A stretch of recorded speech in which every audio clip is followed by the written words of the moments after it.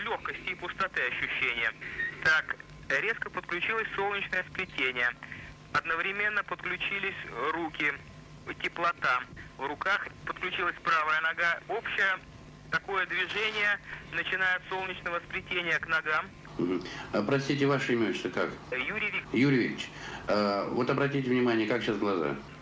так, идет такая сперва небольшая резь, и вот сейчас как бы немножко такой прохладный выход. Глаз немножко холодеет как бы. Так, вот и сейчас. Секунду, сейчас. И вот сейчас Боль прошла? боль, да, как будто она вышла. Болевые ощущения все полностью прошли, да? Да, Алан Владимирович, глаз совершенно не болит. Так, отбалансируем. Сейчас, секунду. Как будто небольшая Так, ясно. Вот на этом сеанс закончен.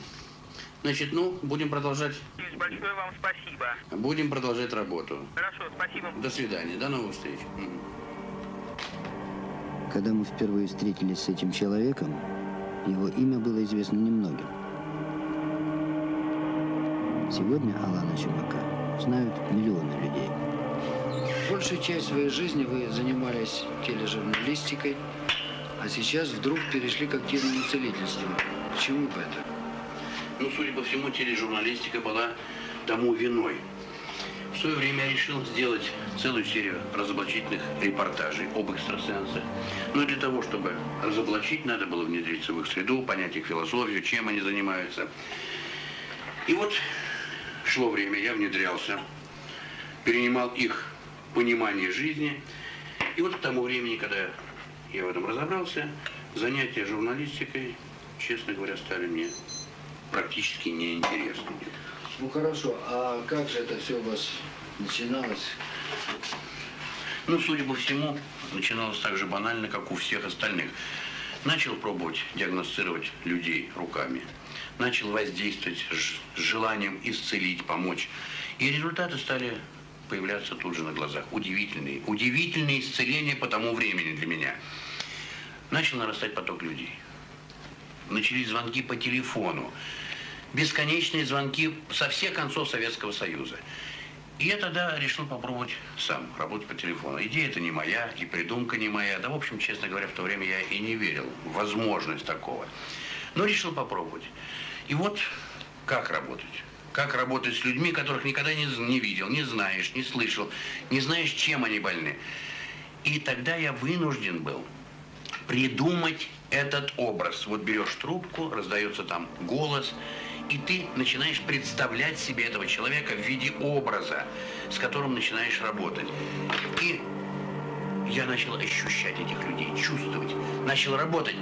И к моему совершеннейшему удивлению и радости результаты оказались такими же хорошими, как и при личном контакте.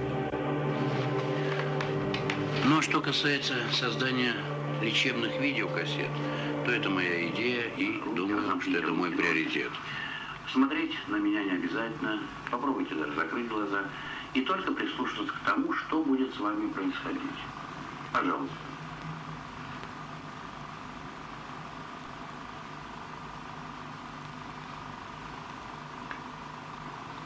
Ну и что же здесь происходит?